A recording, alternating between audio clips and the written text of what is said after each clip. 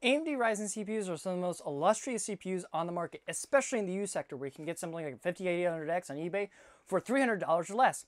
But these CPUs have a problem, and that's their fragility. Ryzen CPUs from Zen 3 all the way downward have something called a PGA socket or pin grid array. This means on the bottom of the CPU there's a bunch of golden little pins that allow you to use the CPU. Again, the problem with the, C the CPU is the fragility. These pins are very bendable and breakable. In the case of bending, you can easily take something like a, a little screwdriver and bend the pins back into place. But in terms of breaking the pins, that becomes an issue. Now there's usually two ways of fixing this. The first way is soldering the pins back in, onto the CPU, but this is time consuming, tedious, and even you can break your CPU if you're not careful enough. Now, the second way is a bit of a secret. Now, I would like to turn, take your attention towards this system right here. This system has a 3800X and that CPU is missing a pin. Yet, the system seems fine, all of its functions works properly. So, well, how did I do it? Well, let's take the system apart and let me show you how I fix this CPU. Okay, so now that we have the system uh, down on its side, we always, always, always, safe practice, go to the back end of the computer and turn off the power supply. Now, I could turn off from the OS, but I don't really care about the drive in here. So I don't really care about it corrupting or anything. So flip the power supply and you can see this turns off. Pull out the power supply cord. And now we should be good and ready to go to be able to disassemble the computer. Now the main part that we will be looking at today is the CPU under this fan right here. So let me get this closer to you so you can have a good close look at that. So you can't really see what's going on down here in terms of how I'm able to disassemble this. But all you got to do to be able to take out the fan or, you know, disassemble something like this is just take out the little cord that goes to its corresponding uh, connector and then just flip the little thing that is latched onto it. Now this part might take a long time because of how fickle they are. We might be lucky today. I love, I will say I love the stock coolers on these systems, but they are very, very, very, very, very fickle to be able to get off. So let's, there we go. Okay, so you see, has all the thermal paste that it would need. So now let's take a look at the CPU. Unlatch that right there. And let's carefully take it off. I think that should be good enough. You won't be able to see it all too well, but that pin right there where the index finger is, is missing. There is no pin right there. So that pin specifically is meant for one of the channels on the motherboard. So there's usually a couple pins that deal with the RAM on these CPUs that deal with uh, connecting to the RAM itself. And this one is for the first two slots on the motherboard, I do believe. I might not be correct. Now, when it comes to actually solving and fixing this CPU, or CPUs like it, what you really want to do is you want to look at a diagram of the pin layout for these CPUs. Usually online, you should be able to find what each pin corresponds to. Now, that specific pin, again, deals with the RAM for this system. And without that pin, you'll be missing some of the slots on your motherboard. And for something like Ryzen, that is very important. You need that uh, speed and you need those channels because of the infinity cache. So something like that is very, very important. Now, this solution does not work for pins that are for, say, power. You could make it work, but with how I specifically did it, I would not suggest doing it. So let me give you a little second. Okay, so now to be able to actually fix the CPU, I got something called a SATA cable. Now these things have little wires inside of the, the cable itself that we're going to be ripping apart and taking and using for the CPU. Now I don't necessarily have to uh, take the wiring within this and use it in this CPU. I'm just using it and showing you just for demonstration's sake. So usually what you want is, you know, a wire cutter. But not everyone has a wire cutter, so I'm just using something like a, a regular old scissor. What you want to do is take it and cut it diagonally. The reason for this is because what we want is the wiring inside of the connector itself. So what we do, we want to cut across and open it up. Now, this does this will take a while.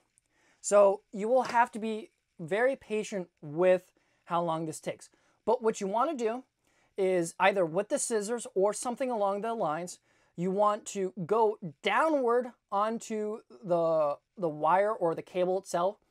So let me do this because uh, this is going to be hard to show on camera. Now I also have something like, you know, nail clippers because, hey, whatever you can use around the house, use it, right? Not everyone is going to have uh, equipment. So I'm going to try and slowly dig in to the wiring itself or the housing or the, the, the stuff that basically encompasses it. Now just take your time. This is, this is a, a tedious and long process. So don't worry about not getting it right or messing something up. You have all this wiring to work with. Try and make use of it as much as you can. Now what I usually do, I try and cut diagonally, as I've said before. That kind of helps the process of extracting the wires. But eventually what you want to do is strip the rubber part so you have access to the metal wiring inside. Okay, there we go. So I made a little nick in it that goes downward. So I'm going to try and take it and peel downward so that I can expose the wire. So now that we have it exposed, right, well, you'll see usually within a SATA, you'll see a little kind of foil and white surrounding the wiring itself. You want to get that out and you want the little teeny tiny silver or copper or any coloring of kind of a metallic look to it. You want to get that and extract it. Okay, now I've extracted a piece of wiring from the system itself. Now this, quite frankly, is the hardest part of the mod or the fix. Now you'll see on my hand or on the tweezer itself is this wire. For this, you will need to cut this wire down to size and fit it into the socket itself. Physically place it. Now this is way too long for our needs because what you want to do is you want to place this into the socket and you want this pin to basically smack into uh, where the pin was broken off. So place it into the socket and you want this to make contact with the broken socket pin. This is going to be the hardest part. Let me let me say this. You want to be as precise as possible. Get some tweezers. Be very, very, very, very slow. And I cannot preface this enough. This is very hard. This would make any surgeon uh, fucking literally even squeamish at how hard this can be. So let me show you physically what I am doing. Okay, now that you have a good look, what we realistically want to do is take our wiring and cut it down. I would say cut it a little longer than the pins already shown on the CPU. The reason for this is because it has to make contact inside the socket and the CPU pins already. So let me cut this down to size so you can get an accurate representation of what you realistically need. And be known, uh, let it be known that once you make it shorter, it becomes infinitely harder. Trust me, it's not something that's easy, but it's a lot easier than soldering. And if you have the patience and the know-how, you can do it. So you can't even see that that little piece of wiring anymore. It's still on there. That's it right there. That's how small you realistically want it to be. So what you want to do is you got to find the specific hole that is inside the socket. This this is where you want to basically plug the the the wiring into. So again, find where your specific pin is, your specific broken pin, now remember, these Ryzen CPUs are oriented in a certain way to be able to put be put into the socket itself. So what you want, usually want to do, you want to find the gold triangle, or you find the logo, the AMD logo, right? And when you're facing it on my uh, on how I'm facing it, you want the logo facing towards the back exhaust fan. So once you find that, find your corresponding socket hole and gently place it into there. You will get a lot of issues with it falling out, it going sideways into the socket. Don't worry, don't fret, just get some more cabling or take it as long and as slow as you need to have it. Okay, editing uh, Civi over here.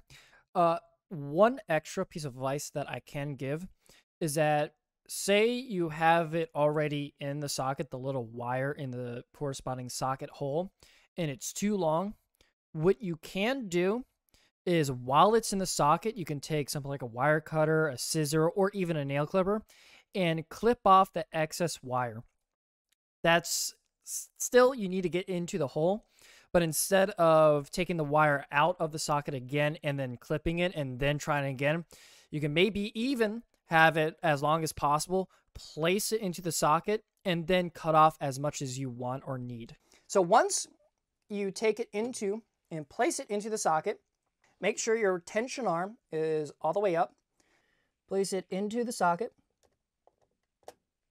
Make sure it's making good contact. And sometimes you will feel some resistance once you place the wire into the socket. Just press it in there. That pin in the socket should bend and should give, and it should be making contact with the broken pin socket. So let's retention it, lock it into place, and put your CPU cooler back on. Remember, this CPU specifically was missing the pin for to be able to communicate with its uh, RAM socket. So it was this socket right here that was basically not working, not uh, responding, and you could only be able to put uh, populate the RAM uh, slots here and here, which isn't again good for Ryzen CPU. So I'll meet you in the BIOS, and I'll show you, and I'll show you that everything is working accordingly. All right, so now we have our system all set back, uh, back to its original state. Um, we plugged in every all our cables. Make sure when you plug it back in, uh, just flip the switch on the power supply back to the I uh, little logo. And of course, press power button. And as you can see, everything lights up, it starts up. Now here is the moment of truth. Let's see if it gets into the BIOS and our RAM is detected. Both sticks, mind you, not just the one. This is the most fun part. Pressing the delete key. In fact, this is why women like me.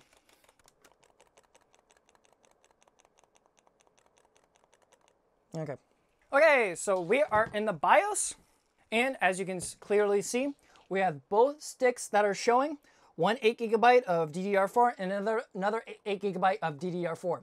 Now, let, let it be known that this is usually only if one of the pins for, say, uh, I don't know, USB or I.O. or the RAM slicks, something that just needs to send data and not necessarily something that requires power the SATA pins in the SATA uh, wiring, the wiring within the SATA, isn't something I would use to be able to send power, like lots and lots of powers, a lot of amps, a lot of voltages. So let it be known, if it is a pin that is meant for something like power, it is not advisable to use a SATA wire. Use something a little bit more uh, thick and gauge. But for anything that just needs something to send data across, this is probably your best bet in terms of to be able to repair your Ryzen CPU.